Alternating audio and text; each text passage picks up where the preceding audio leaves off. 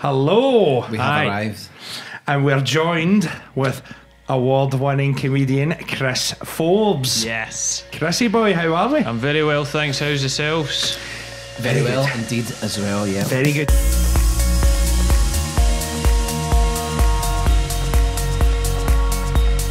We're all good, we're all good. You're a wee bit hungover as I'm well, a, you a were li- saying. little bit rough there, a bit hanging, but uh, look this is the perfect anecdote. You look good, you look fresh, I must say. Aye, you it's the salt say. rock. That's what's doing it. Just changes it.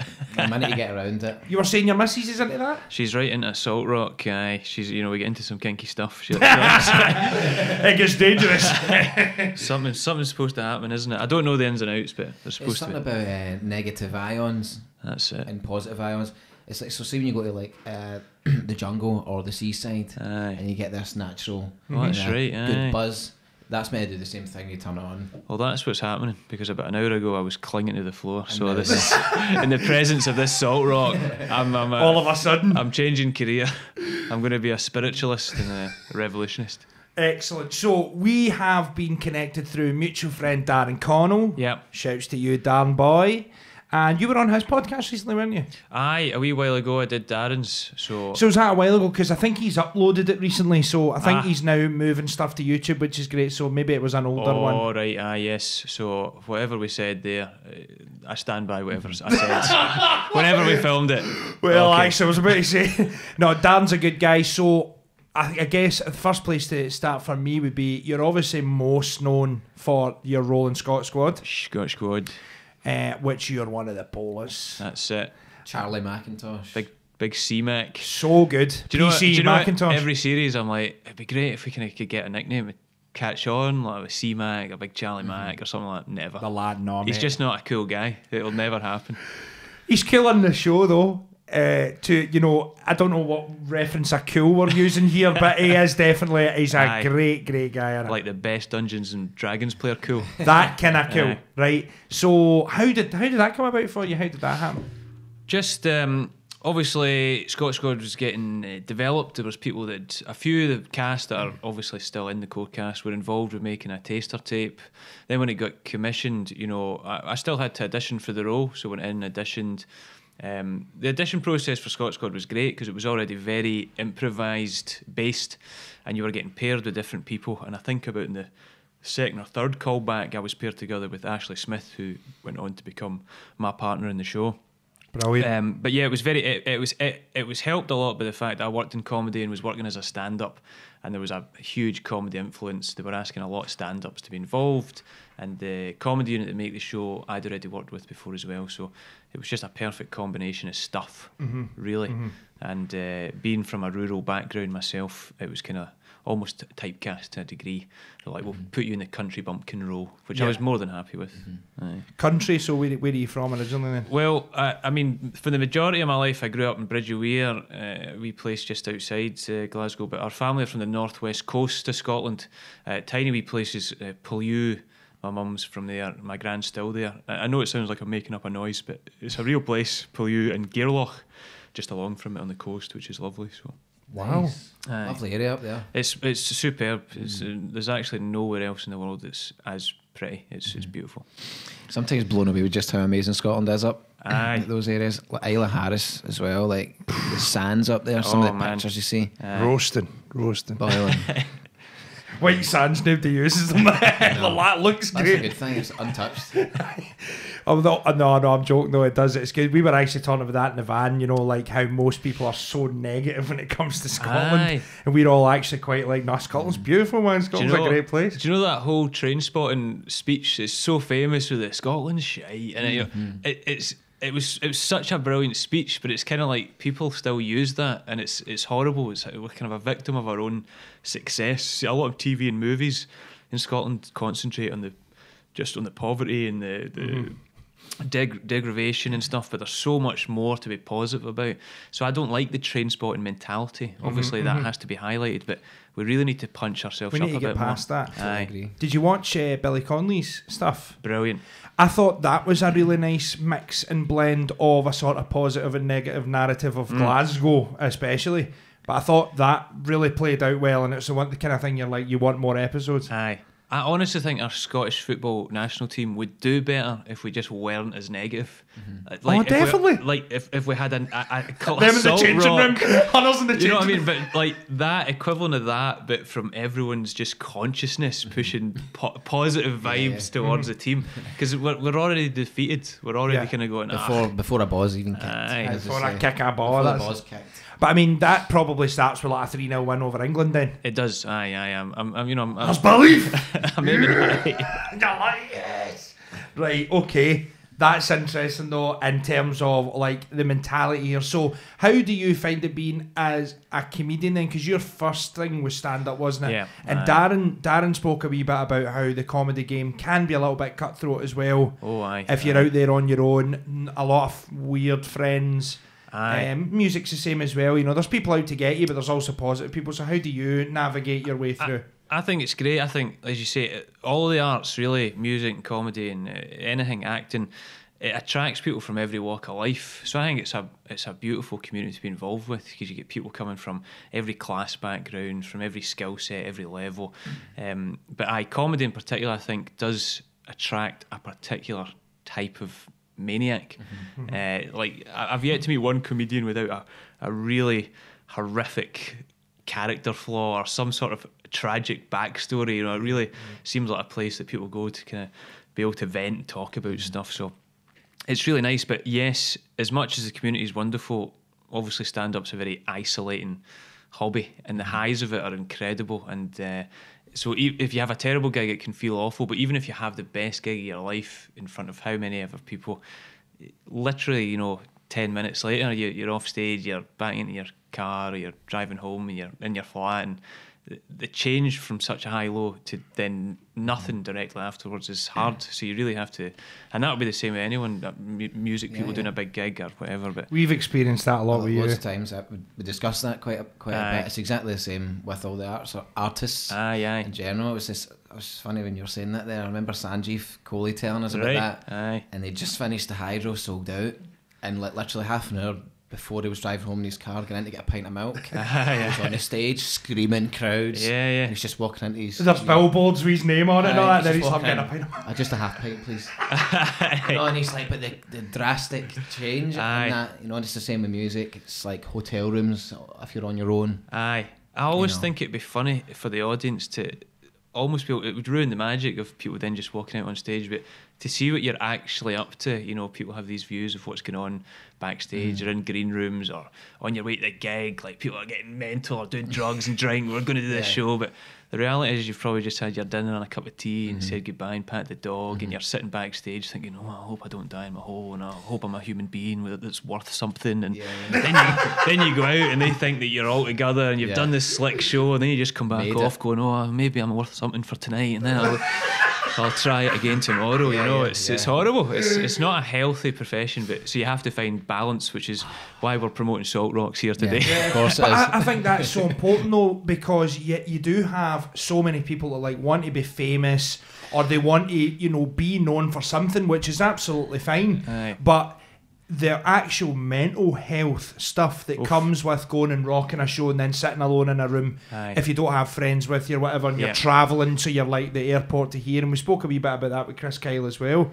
How how do you tend to deal? I mean obviously you've been at it years now. I've been watching you doing some stand-ups like 2007 which we'll get to so you've been doing it a while yes. so how do you deal with it Well, I, I tell you, and it, like I, I don't make any qualms about how schmaltzy or cheesy this is, but Eleanor, my fiance, is like the biggest grounder for me, regardless of what's going on, and she she properly changed my mindset. In fact, the, the guys I was out with last night are also involved in comedy, and uh, uh, I was at, we- at one point we were actually talking about uh, meeting Eleanor. I'm getting married this year, and they were like, "It's, it's great, it's great you're getting married. Eleanor's a great girl, and I, I just had a wee moment. It was a few, a few, few glasses in, but uh, and I said it is great. I says I think if I hadn't met Eleanor, I probably would have self-destructed by now.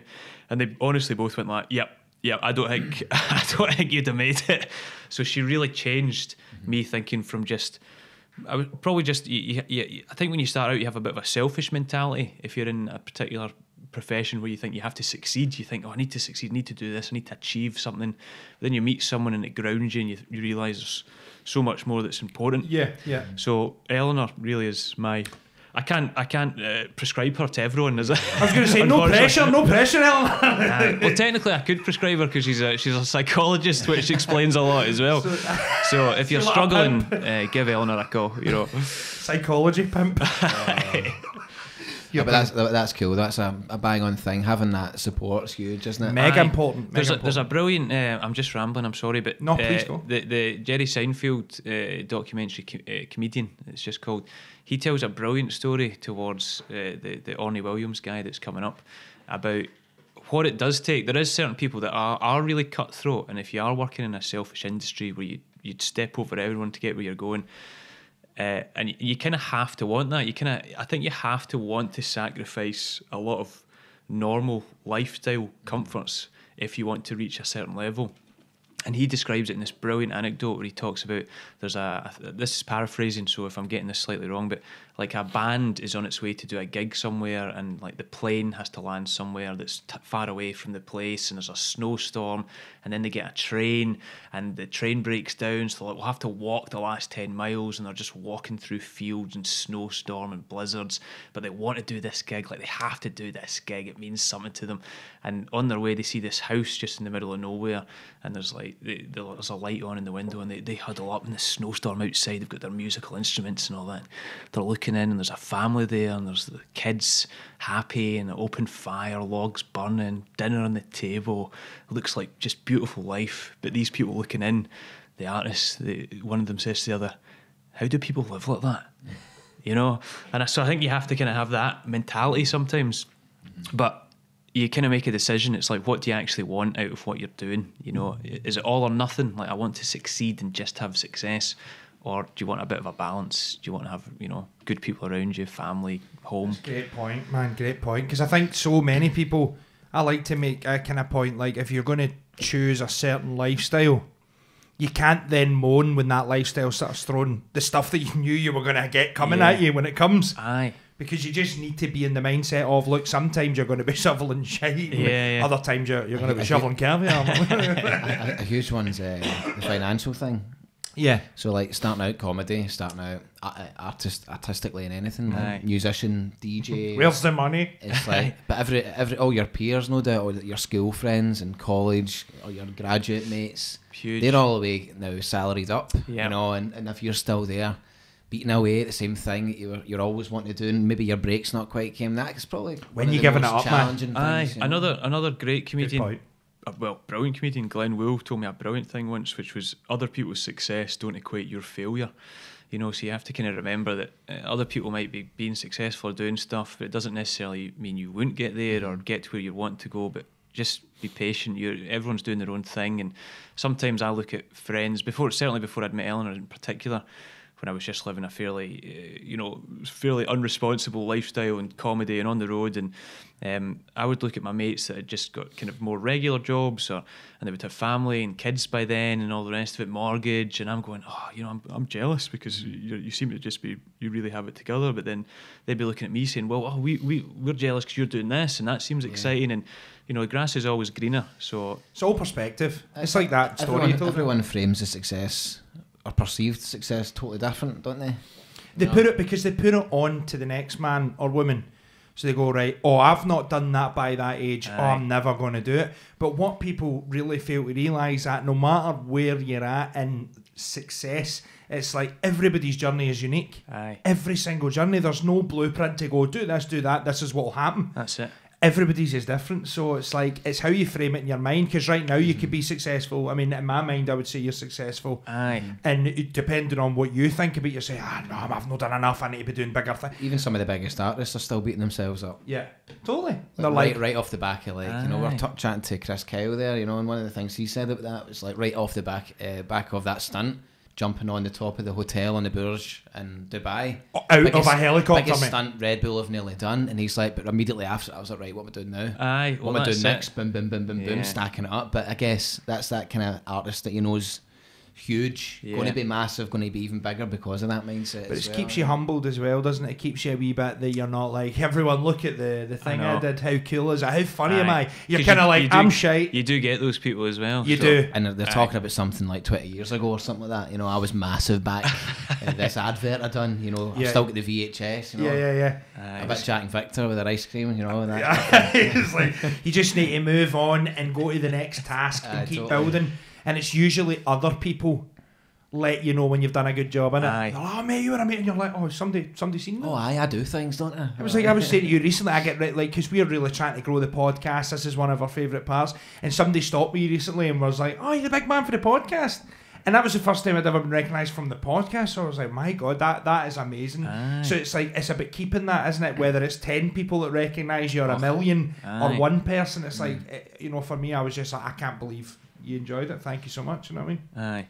It's good. I think we're tackling big issues here are, today, man. Straight off the bat. It's Boom. great. Usually, but that happens with a hangover and that, don't you? You, go, I you, know, you get a aye. wee bit deeper. I did. I was waking up. I was singing Neil Diamond last night. I was singing "I Am." I said, you know. So I, I- you know, that's a dark place to go, but it's a beautiful song. What time did you call it?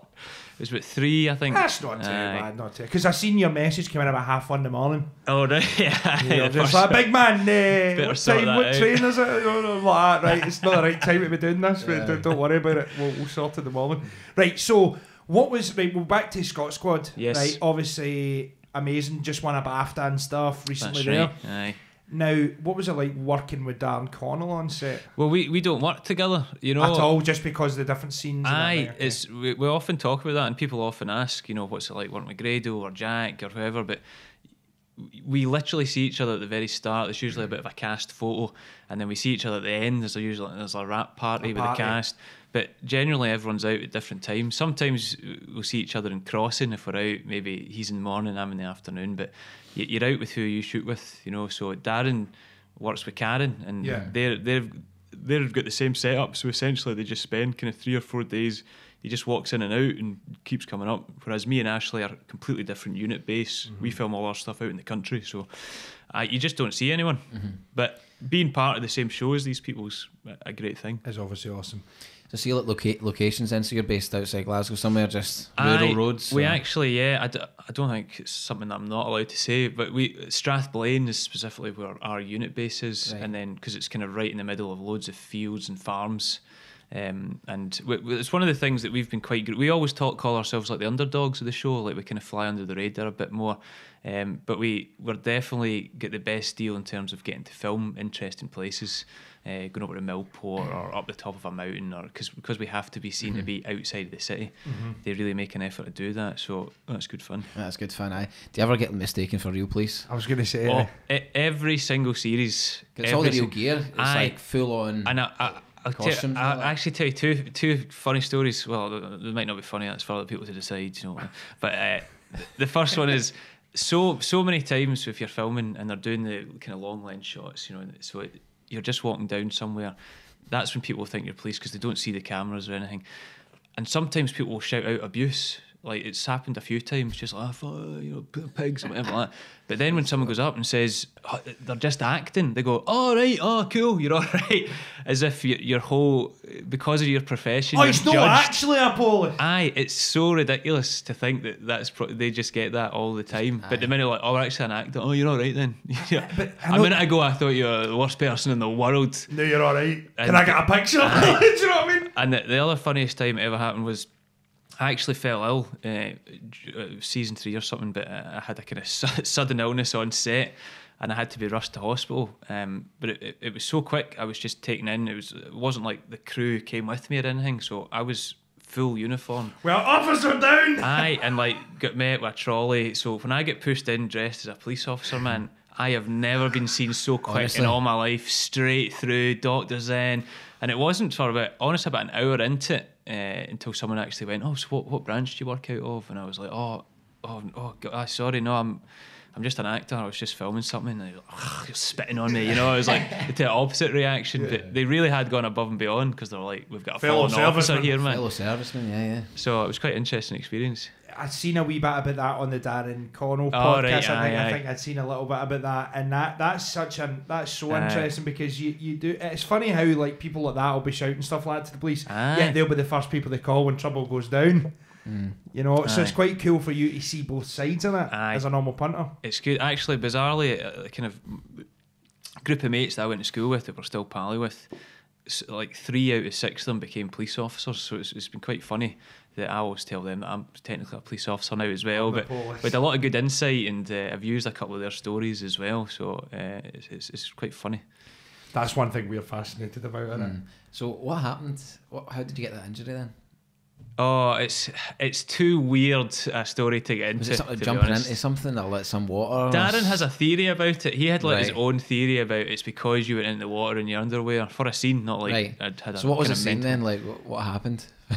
There was there's this isn't this is not We're how the result. Come on, come on. This is not this is not what, what what happened. But he thinks it's because I can't even remember which body of water it was, but I think it was season one or two where I had to wade in in my underwear to rescue a cat in a boat. Right.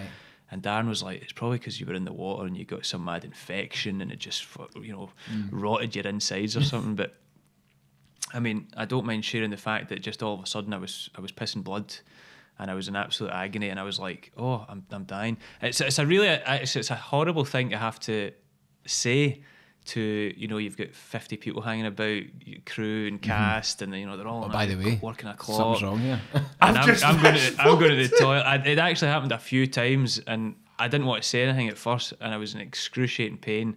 And then the kind of last time I went, we were actually filming in someone's house. They probably never knew about this, but it was one of the last times I went, and it was just pissing razor blades, blood, and I was bending over, and I couldn't, I just couldn't go back out. And I had to say to a wee ru- one of the runners, I was like, I just feel like I have to say to someone that I'm kind of in a bad way here and I'm, I'm pissing blood and I, I might be dying. And they were like, oh, we need to get you to the hospital. And they, they just that was it, man. So I was laid out for, for quite a while and had a couple of things going on for a while. But, Okay, now though. but I, coming back strong. Darren came to visit me in the hospital. That was pretty funny, actually, as well. That no, was nice of him. no idea what it was then. Just No, I do. It's just that there's loads of weird stuff that went on. There's a lot. Of, I can't even remember the names of the types of Aye, infections I got, crazy. but there was an infection that infect. Actually, it was. We'll get right into stuff like my bladder, my prostate, my intestines. I was taking an antibiotic that they used to treat to treat radiation poisoning. It was so strong. Wow, man. I lost loads of weight. I was I was ill for ages. So Walking Chernobyl. uh, actually, one of the doctors said, "I think you might have just got unlucky." I was like, "Well, I agree." Jesus Christ, though, how fragile life can be, oh man. man, aye. So that was it. I remember I watched, watching it was a still game, one of the, the more recent ones, and this involved like Jack and Victor jumping into the canal. Right, aye. And I'm like, man, they surely would have swept that canal and that, you know, before they'd, they'd done it. Because it was like, you know, that kind of thing. You jump into like a canal, Maryhill, you're like, maybe there's like, you know, something sharp or like Aye, pretty aye. bogging, you know. Was like, because the two of them went right for it, you know. And I was like, geez, oh, like, you know, um, because they aren't that deep. You know, No, it's like with aye. trolleys and Oof. other sharp objects. man. Objects. Well, But aye. aye, that's a scary one, man. There you go. But I'm glad you're all right. That's it. Me too. And just full recovery, all good. Full recovery, all good. So, Fantastic, mate. God, man, that's scary, man, isn't That it? just shows you what can happen. aye, aye, it was mad. Right, well, we're talking about rural scenes, right? We'll, we'll come we'll come away from your bladder now, right? so, um, we the farm, Yes. Right? So your new program, the farm. Yep. The now you, I didn't know you were actually you wrote it. Aye. You've been behind the whole program. Yep. Now I've watched only one episode. I think it was episode three. Okay. Amazing, Good. loving it. So I'm Oh, going to go back you. and watch the rest. Thanks very and much. funnily, I pieced together that the guy from the bomb scene squad and Scot squad is the same guy. So how Aye. did that happen? So Jim Smith, uh, and people would know him also from the from the bomb scene in Scot Squad. He's, he's been in Scot Squad and other scenes, and then uh, people know him as well now from doing like Farm Diaries for on short stuff. Um, but yes, he I co-write the show with him. But essentially, what happened was pretty much after the first time I met him, where we filmed a wee scene for Scot Squad on a farm. Um, uh, I started thinking a farm would be an incredible location for a, a new sitcom, which is I've written loads of sitcoms hardly any of them have been made, but usually the first starting point for me is where's someone that hasn't been explored, where's somewhere that could have a whole world built around and can easy, containable set.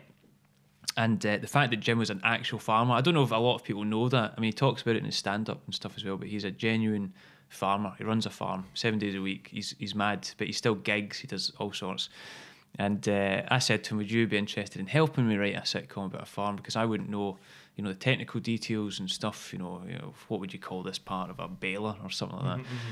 But he was right up for it, you know, he, he was right into writing. He'd done a lot of stuff with young farmers and stuff like this. So we set about doing it. We actually wrote the first time we wrote a half hour pilot for it, and uh, it was I was say I was saying four years ago, and about a year after we'd done it, we did a, a live read through of it at the Stand Comedy Club. We actually had uh, Mark Cox from Still Game and Anita Vettesse and a couple other brilliant actors doing a. It was going to be like a uh, a sitcom. It was going to be a studio sitcom show. But um, yeah, it went through a lot of different processes, a lot of different developments. TV takes a long time and it just so happened, good timing wise, that since then, uh, the new channel was starting to be announced. They were looking for regional content. Jim Smith himself's done more comedy. He's done more acting, so he's enough of a presence to be like, look, you should just be, you should be you. You should play Jim the farmer because you are one, and he's brilliant at it. You know, uh, great, brings a lot of authenticity. So yeah, thankfully we got that commission for an iPlayer mini series, uh, and uh, looks like we'll be doing another one, three new episodes, and it looks like they'll be building that, you know, to become a new show for you know next brilliant year or man, something. So, I exciting process. It's cool. Was that like the you know you mentioned about writing then? So you've been writing for as long as you've been doing comedy then? Aye, I've, I've always written, and again, I, I don't want to keep kind of going on about different weird uh, things in the creative industry, but uh, like all comedians are writers. You know, comedians I always think get a, certain comedians, certainly better comedians and bigger comedians than me. They're right all the time, but I don't think they get the credit they deserve. I think comedians still suffer from that kind of. It's just a gesture, a jester. You know, it's just a guy being funny. Someone pointed out to me once, and it's a brilliant observation that on talk shows they usually have like three guests and a, and a comedian or two guests and a comedian and the comedian's always the one at the end of the couch that they just go to for like a wee quip or something mm-hmm. but comedians you know write all their own stuff mm-hmm. so of course they're writers mm-hmm. and they have to produce their own stuff and yeah. put on shows they mm-hmm. direct their own shows they need to observe everything it's it's it's a it's a hugely uh, kind of all-encompassing job so um all com- I just I just think comics are brilliant like mm-hmm. real pure purer stand-ups than me are just writing all the time mm-hmm. but I've always written certainly at college as well, I did an acting course, but they really encouraged writing and script writing, so that was a, huge thing. And then I did a creative writing course at Glasgow Uni because I wanted to become a better writer. And um, I wrote with two guys, James Curt and Kevin Mains. We had a sketch group called How Do I Get Up There? So we wrote all our own sketches, obviously, for that.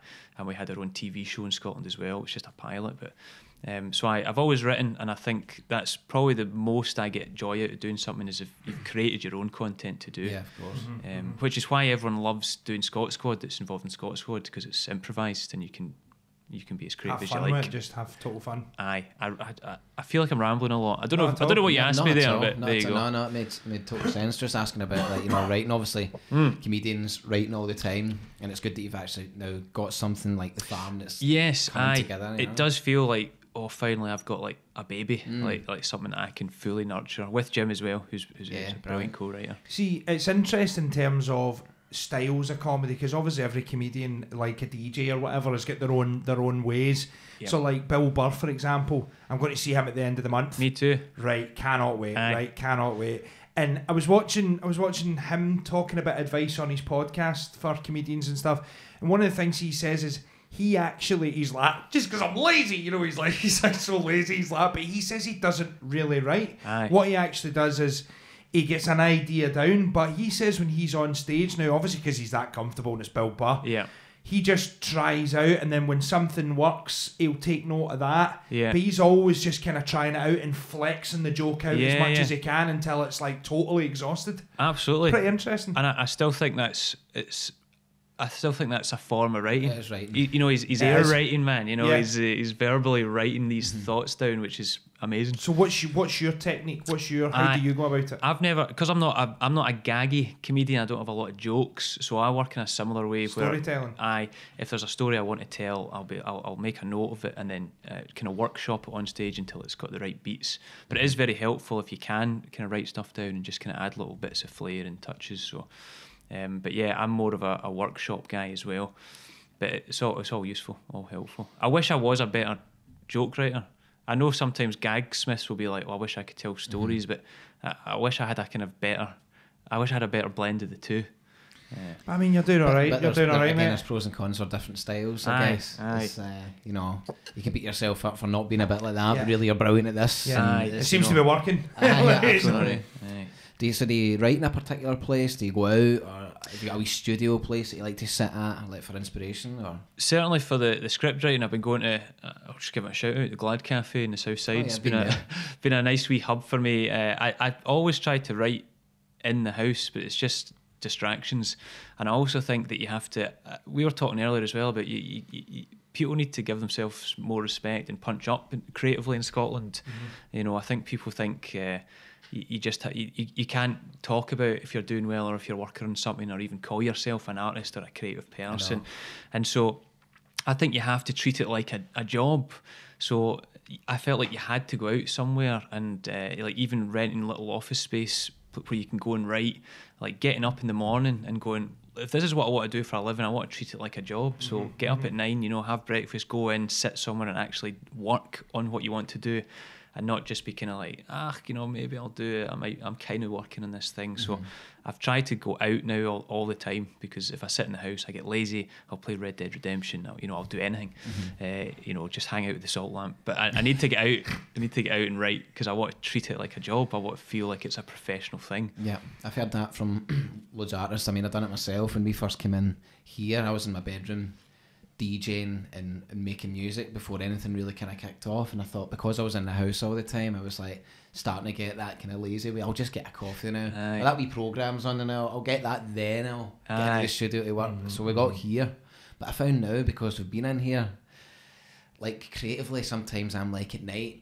Oh, I wish I could just make music now in the house. And I'm like, but I don't want to go to the Yeah. studios. I've kind of almost came like 360 in a way, where like kind of essentially that I just like I set up in the house and I set up Aye. in the studio Do as well. both. So you've got Aye. whatever that strikes. Because for me, sometimes it'll be like it could be a one in the morning Exactly. Aye, aye. rather than like you know up in sticks and leave into the studio. So it's like you know it's a bit of both. You've It's got to get a balance. Aye. Finding out that balance, just working your way through. Aye. it. Again, I- I'd say actually Eleanor said something as well. Again, it's Eleanor's influence of kind of when she met me telling me to like y- you have to believe that you're doing okay, like you you are doing well. Mm-hmm. Where it's always that thought of I don't know, and she's like it's a it's a job, you're doing well, you know, believe in yourself and all this. But she also said a brilliant thing. She's actually said it backstage in a green room to other comedians before, and it freaked everybody out. But because she's a clinical psychologist, she finds comedians fascinating creatures. And we were all talking one day about how we were planning our fringe shows and like no one had started. And that's a big, it's very common in the comedy world that comics are like, what are you doing for your fringe show? And it's like, I haven't started writing mine yet. And you, you panic and panic. And then you leave it to the last minute, you know, and you're cramming, you're stressed, and you do the show and you're like, oh, you know. And Eleanor was just kind of taking all this in and she was like, there's a reason that, you know, people do that. And she was saying it's because if you actually poured your life and soul into something and worked hard on it and then it failed it didn't work out, you'd be like, I'm shite. why did I do that? I can't believe I worked on it so hard and it failed. But if you leave something to the last minute and then, then you can go, oh well, I, you know, I, I only, didn't I, only, I only just wrote it, so it's a continual safety net. Ah, So you just have to give yourself, you have to believe in yourself. You, but everyone was going. Why did you just say that, man? Like that's what I've been doing psychologically without realizing it. Like just total putting it off and distracting yourself from the reality of what you want to be doing. But you have to believe in yourself enough to go. I'm going to pour everything into this and work on it. You know, Wow. So true. Big question here: Xbox or PlayStation? PlayStation. Oh, get off. Get out. You know, I had an Xbox 360 for a while, if that brings back any, but I went PS4. dark side. I actually only just got a PlayStation 4 last Christmas, like a big kid, man. I was so excited. I was so I, excited. just- I get back into the, the gaming world l- l- last Christmas there as well because it's Aye. been years and years like Yeah. without it. 'cause I was like, I can't play that anymore. Like, I went from like GTA Vice City and San Andreas, hammering it in a big massive gap where Yeah. I got myself together and Yeah. made something out of the music. And then I, I went back to it and it was totally like being a kid again. Oh, man. I've actually got new games and a console. Aye, yeah, it's it like the best funny. thing, best gift ever. It was good. Do you know what I mean? They were loving it, back loving it. Wee hour a night. It's good to wind down actually. It's good for switching off. It totally is, and you're just going into nonsense land. Aye, Do you know which what is I mean? actually Oh, really good. man. And actually, a lot of the time, if we if we're playing together, we'll come up with new stuff while we're on the headset. All the Like, time. "We're trying not to work with now, and then you, before you know it, we're actually back on. Like, take a note of that, take a note of that. Right, right, okay, okay. Like, get that guy, get that You're like- so- so- You find yourself in this weird terrain. Right, so, what, I mean, h- I mean, how long have you actually been then full time doing this, and, and how long did you know that you wanted to be a comedian? Like, In terms of full time, I'm trying to think when the kind of jump would have been. Um, what were you doing before? I was doing all sorts. Straight out of college, I'd, I've, I'd worked in uh, supermarkets, even just in my local supermarket for ages when I was at kind of college and uni. It was a, what was it first? It was a Spar. And then it was a Morrison's, a co-op, a Somerfield. I've got loads of fleeces, man. It's like having jerseys. Football teams. I did Morrison's. I ticked up. I've ticked that Aye. Morrison's box. I've been there. and, Groceries. uh, but I after after college, uh, I'd, I'd went to uni, but then I went back to college when I thought I, I want to do acting, I want to do performing. Had I just gone straight into a job after uni, I'd, I'd, I'd done sports science and physiology because I was a, I was writing a basketball and I thought I should do something sporty, but I ended up kind of going a bit awry at uni. I ended up doing a getting a degree in geography. I can't remember exactly how that happened, but Sports science. Aye, it was it was a, it was it was a weird a weird time. I actually got a G for chemistry. I didn't know that existed, but uh, I don't know if I was the first person ever. But Gangster. I got, I got a G. G. That's pretty cool. Right? Aye, but thankfully, when I got out of acting college, I I'd started stand up just open spots in my kind of second or third year when I was at college. But I got into TIE work, um, which was theatre and education. So going around schools doing it, the kind of groups you hated when you were a wee kid that would come in and be like, "Don't do drugs, stay in school," and all that. But it was supposed to be like a kind of updated workshopy one where we were talking to kids that were literally going to be leaving school and like, talking about apprenticeships. So it was it was nicer, but it was very cheesy. It was like we had to do a rap at the start, and there's no way you there's no way you can make a rap cool when you're at school going in as a, a, a mad big lanky white guy. Like, I thought that when I'd leave school, that'd be me. I'm done. I'm gone. I'm totally free. And you're like, "Right." it was it was awful, you know. So I, I did that. Oh man, aye. So and it's it's quite a common job for actors to get when you come out of college.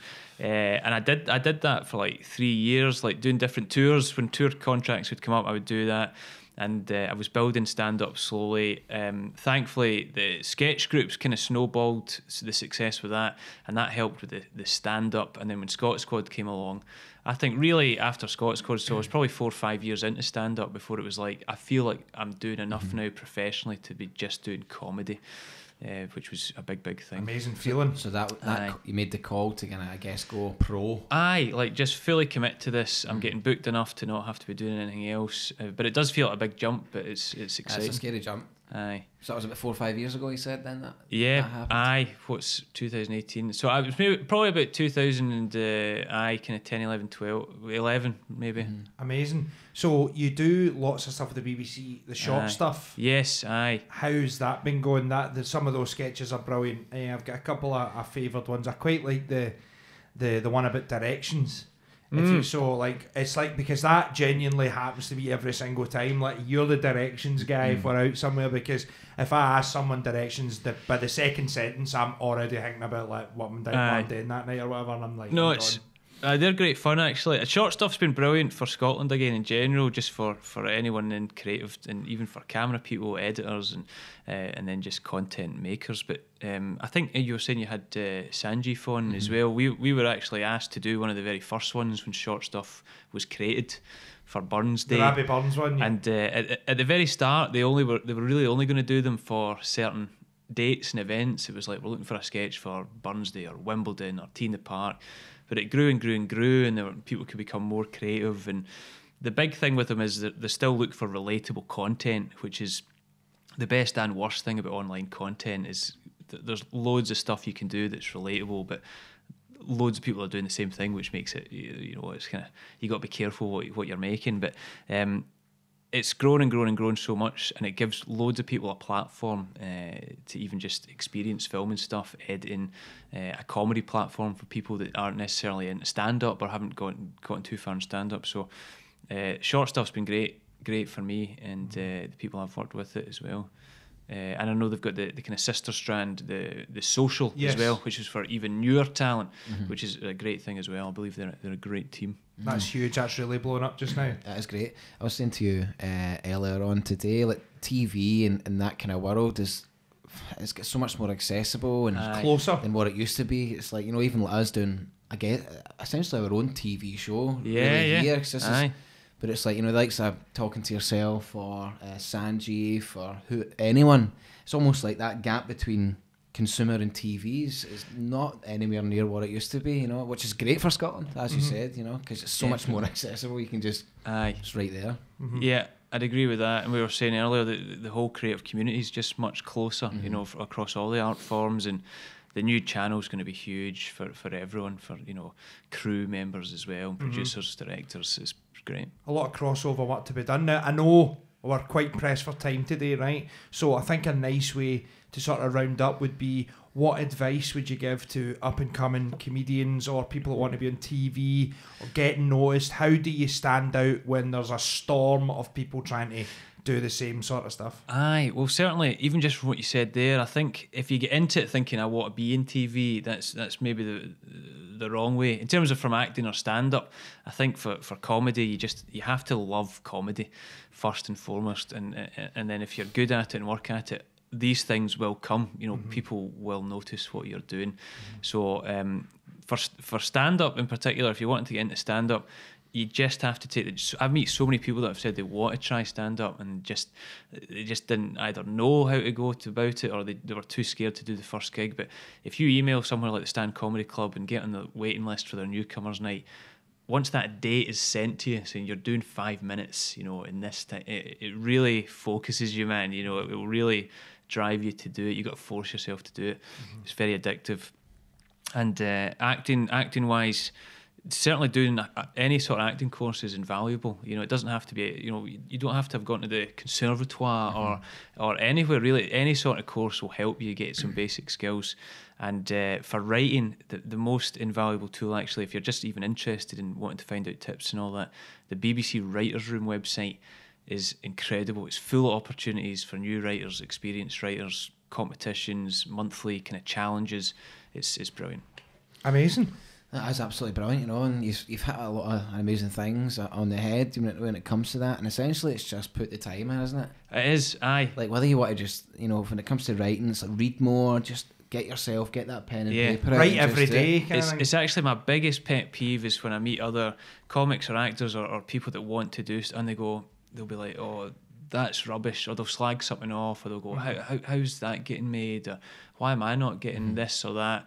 And it'll be like, well, what what have you done? Like, What- what, have you done to merit in that? change Yeah. it? What have you have you written something? And it's like, well, no, but uh, you, you can't ever expect something. You can't think that you deserve it. You, you just have to keep banging your head against the wall and writing because you love doing it. You just Yeah. got to think, uh, this is what I love doing, so I'll keep doing it until it, until it clicks. Yeah, but yeah, that's Great absolutely point. it. You know, it's like the passion has to be there in order for you to put the the, the needed amount of work in. Aye. And like the stress you'll go through, the passion's man. got to knock that stress away. Yeah. Because if you're not passionate enough, then the stress will eat you up. Yep. And Yeah, with it. the no money and the Aye. travelling and all that sort of stuff, Aye. eating sandwiches every day and all that sort of I, stuff. I remember seeing lucky. the. Aye. I remember seeing David Tennant doing his uh, a wee speech. It, it might have been at the conservatoire. It was uh, they filmed the video and it was like they always get like a famous person come in and give a speech at people's graduation, and to the kind of new class of graduates from the acting course, he said the fu- the very first thing he said was, "If you can do anything else, do that." you know but if you can't like if you if you have to do acting like if you really want you you just feel like you have to do mm-hmm. it then okay pursue it. But if you can do anything else in your head if you think well i could be doing it do that mm-hmm. because otherwise it'll eat you up. Mm-hmm. There'll be times where you're jealous bitter spiteful hungry your skin you, it, it has to be the only thing you want to do man That's that- cool. That's absolutely brilliant, you know. It like, is The way to look at that really just gets you aligned with the, the sheer mountain. Aye, aye. the mind- mindset as is well, there. yeah. I make that. It's a mindset mountain, really. Isn't Mhm, it? 'Cause, totally. like, even t- just now, you still beat yourself up. You know, it's All like, the is there time, a point all the really when time. it just stops? Anything else you want to plug? Because obviously the farm is on BBC iPlayer right now, episode three. So go and check that out. Is there anything else coming up that you want to plug? Or shows where people can come see you? Because we'll drop those links in and that, mate. You know, we want people to go and check you out. Lovely jubbly. Aye, the farms on the iPlayer, the first little mini series is on there for a year, and uh, Scot Squad will be coming out in the spring, so watch out for that. My uh, Glasgow Comedy Festival show uh, is on March the 24th, I believe. See how he remembered that? if that's the Sunday, and uh, it's very different from all my regular stand up. It's it's a, it's one story, uh, uh, just one story about how I met a guy in Glasgow who who genuinely believed he was the son of God, and I met him and I interviewed him, and we've got clips of the interview, and I'll tell the story about how that came to pass. We'll need to come to that show. Sounds good. We'll Aye. need to come. That's your birthday, innit? It is actually Yeah. Well, that will. Aye. twenty fourth of March. Yeah. We- We've been enjoying the, the real philosophical buzz, so uh, if you if you're into that chat, you'll enjoy this show for Oh, sure. brilliant. We'll need to come and check Aye. it out, man. Sounds good. Well, thanks so much to Chris Forbes for joining us today. Do not forget to hit subscribe, guys, and please go and check out Chris Forbes' channel. Thanks for having me. Absolutely. Quality. Cheers.